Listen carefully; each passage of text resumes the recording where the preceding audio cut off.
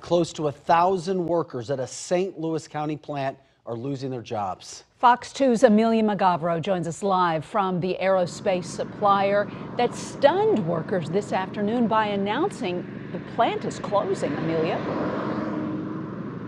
Yeah, Mandy Vig, GKN, says it's deciding to close its plant here in North St. Louis County simply because the plant is not profitable. Now, we did get a statement from the communications person for G and uh, G and K, and he says the business has invested significantly in the site over the past decade, and despite the best efforts of everyone involved, the facility has consistently struggled for profitability in recent years. Bommarito Automotive Group Skyfox shows just how big this plant is.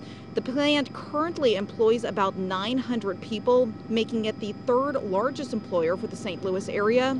The company builds parts for Boeing, Lockheed Martin, and other aerospace manufacturers and has a value point of $6.5 million.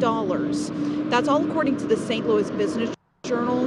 And we did reach out to Boeing, and Boeing says the plant's closure will not impact its production or programs. Now, we have reached out to the workers' union here, and they have not gotten back to us, but we do know that GKN says it plans to fully close this plant here in St. Louis by the end of 2023. Live in St. Louis County, Amelia Mugavero, Fox 2 News.